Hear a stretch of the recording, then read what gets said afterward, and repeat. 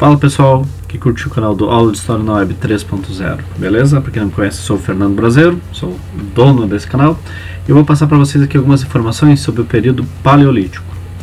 Por aqui, por aqui, tá as nossas redes, as minhas redes sociais, as redes sociais do canal, as redes sociais do meu canal de games, o RetroGamesBR 3.0 e aqui por baixo tem o e-mail, os meus e-mails de contato. Precisando de alguma informação, querem deixar um feedbackzinho, passem nas redes sociais. Agora vamos começar um videozinho curto, dando alguma, algumas características do período paleolítico. Então, confere aí e já deixa o seu like no canal.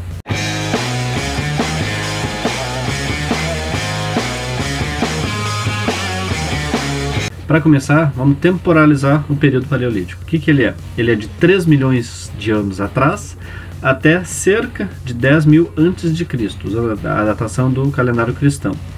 Dentre as principais caracterizações dos homens primitivos, a gente tem o Australopithecus, o Homo habilis erectus, o homem de Neandertal, o homem de Cro-Magnon e o Homo sapiens. Eles, todos eles estão no período do Paleolítico. Qual é a característica principal uh, da sociedade paleolítica, vamos dizer assim? Uh, três fundamentos assim. Eles não dominavam a agricultura, eles eram nômades e faziam uma, uma economia de subsistência. O que, que tudo isso quer dizer?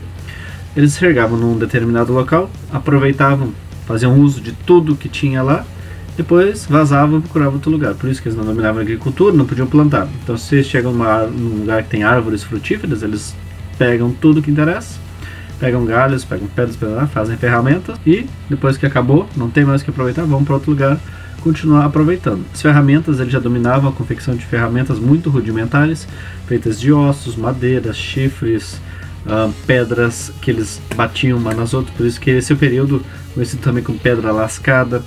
Uh, não tinha uh, a ideia de propriedade. O machado, uma, uma pedra, coisa ali que eles usavam de ferramentas para fazer alguma determinado, vamos supor um machado, que era para cortar a carne.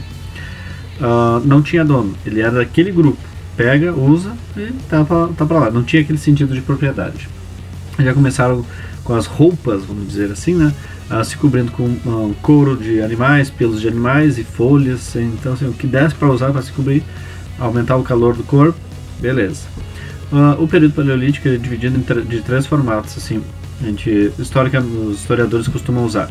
É inferior, médio e superior. Dentro do período inferior, que é o mais longo, que é desde o início, né, 3 milhões de anos até 250 mil anos antes de Cristo, uh, era conhecida assim, a temperatura do planeta era muito, muito, muito baixo. Então, assim, o que, que eles tinham que fazer para se esquentar? Além de andar em grupo e começar a se tampar, uh, eles tinham que se entrar nas cavernas. Por isso, o homem das cavernas. O primeiro abrigo que eles acharam foram cavernas, ou seja, prontos. Eles dominavam, o, o dominavam a construção de abrigos próprios. Uh, com as temperaturas baixas e entrando em cavernas, um fato desencadeou assim a crescente evolução do homem. Foi descoberta do fogo a partir do atrito das pedras.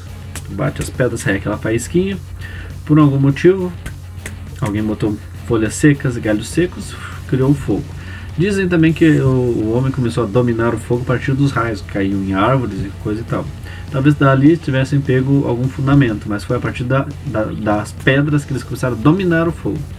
Daí assim eles conseguiram se aquecer e também cozinhar os alimentos. Cozinhando os alimentos, é o melhor de comer, né? E assim tu também uh, garantia uma maior vida da, da pessoa, porque assim, a, a comida crua não faz bem, né? Mesmo para o estômago primitivo. Então comida já cozinhada, assada, já, já melhor para o organismo digerir. Ou seja, garantia uma, uma expectativa de vida um pouco maior. Já no Paleolítico Médio, a gente tem aquele um período um pouquinho maior, outro gigantesco, outro um pouquinho menor assim, de 250 mil anos de Cristo até 40 mil antes de Cristo. Ali surge o homem de Neandertal, que é o, o, o, último passo antes do Homo sapiens. A partir dali pode ver pela figurinha que está aparecendo por aqui, né? ele já é erecto, tá? já não é tão coberto de pelos, já tem uma postura mais de um homem da, da modernidade, vamos dizer assim, só que ainda no formato mais bruto. Uh, a partir desses desse período e desse homem de Neandertal, a gente consegue observar os primeiros cultos religiosos. Que tipo é? Sepultamento dos mortos, ah, com itens e adornos e restos de animais, e também o culto que eles faziam a mulheres devido à fertilidade. Considerava a mulher um, um, um ser superior por ela conseguir dar a luz a outro ser. Então veja só como é que é a inversão de papéis. Né? Hoje em dia a mulher tão desvalorizada, buscando seu direito, na pré-história já valorizava a mulher. E a gente tem também o último período histórico, que no caso é os últimos anos a, dos 40 mil aos 10 mil antes de Cristo, uh, o homem já começa a desenvolver um pouco a inteligência. Por quê? Uh, ele vê a necessidade, assim, de não, ele não consegue mais, a cultura de subsistência, vê a necessidade de uh, capturar para se alimentar animais grandes, como um mamute, na época ainda existente na Terra.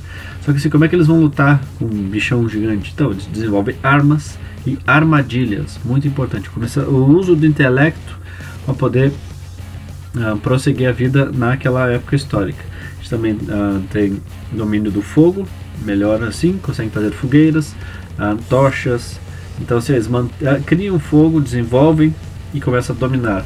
Eles também conseguem, começam a construir abrigos, casebres, choupanas, seja lá como é que se chama.